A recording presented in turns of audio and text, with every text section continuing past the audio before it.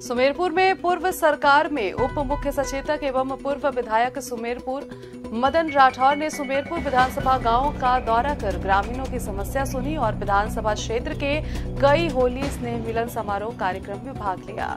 पूर्व विधायक राठौर ने गिरवर, गुड़ा, एदला किरवा होली स्नेह मिलन समारोह में हिस्सा लिया।